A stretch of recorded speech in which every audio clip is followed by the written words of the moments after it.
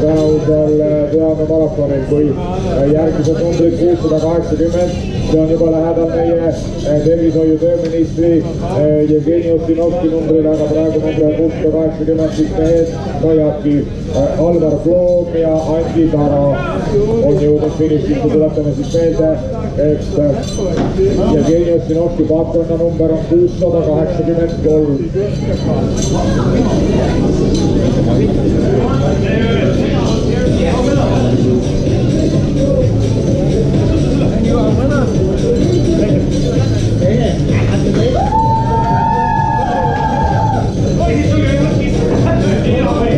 Viissada üheksakümmend kaheksa saab Marulise